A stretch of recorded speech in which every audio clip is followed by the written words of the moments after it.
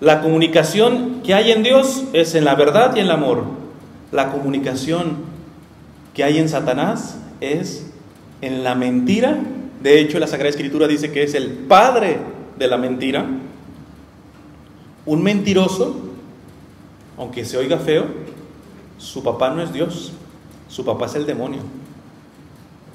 El padre de la mentira es Satanás. Dice en el capítulo 8 de San Juan, nuestro Señor, fíjense, no es Cristian Huerta, no es Perico de los Palotes quien va a decir esto. Jesucristo, la segunda persona de la Santísima Trinidad, Dios y hombre verdadero, es el que va a decir esto. Dice nuestro Señor, ojo, es, eh, eh, curioso, le están, le están echando tierra unos judíos a, a Jesús y Jesús le responde esto, dice, ustedes son de su padre el diablo y quieren cumplir los deseos de su padre. Este era homicida, asesino, desde el principio y no se mantuvo en la verdad, clave. ¿Dónde se empezó a echar? Porque Dios creó un diablo. No, Dios creó ángeles buenos, pero tienen su libertad como tenemos tu libertad y yo. Y hubo unos ángeles que se rebelaron contra Dios. Pero para rebelarse contra Dios, que es la verdad, en automáticamente tienes que mentir. Este era homicida desde el principio y no se mantuvo en la verdad, porque no hay verdad en él. Cuando dice la mentira, dice lo que le sale de dentro, porque es mentiroso y padre de la mentira. Aquí nos definió a Satanás, el demonio, el mismo Jesucristo. Si alguien quiere después leerlo, capítulo 8 de San Juan. Satanás, por lo tanto, fíjense cómo también le dice, asesino desde el principio. ¿Qué es difamar? Matar la fama de la persona. ¿Cuántos de nosotros nos hemos ido a confesar de haber matado? No me, no me levante la mano, evidentemente.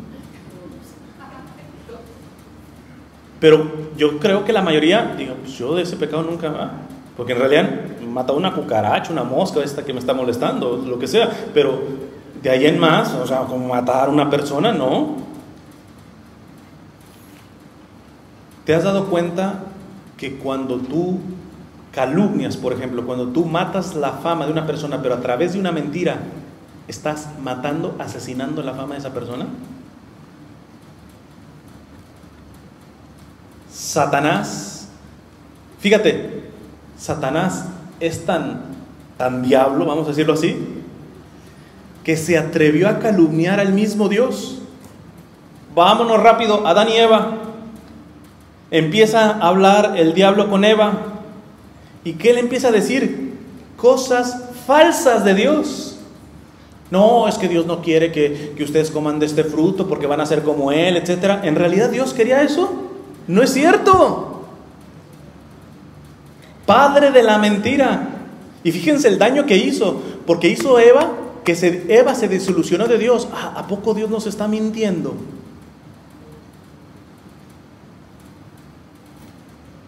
Vean, el diablo puede matar la fama buena de Dios, perfecto, en una persona que también le, lo vamos a ver más adelante, que le presta oídos al difamador. Porque tú dices, no, pues yo no difamo, no calumnio. Pero compadre, vamos haciendo el ejercicio de que cuando se te acerque alguien que está calumniando y difamando, frena tu carro. Porque muchas veces se envenena. ¿Cuántas veces se traga prójimo en las fiestas familiares y en los grupitos o después del grupo que se van a cenar y a comer y todo y empiezan a tragar prójimo? Y alguien dice, pero yo no salté la, la, la difamación, no, pero después te atragantaste bien, ¿verdad? Por andar escuchando y este ya dijo de esto, ah, pues yo también sé esto de esta persona y ahí se tragan a la persona.